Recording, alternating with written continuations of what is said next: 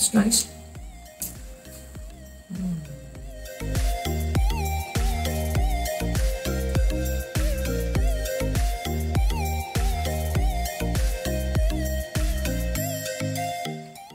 Alright.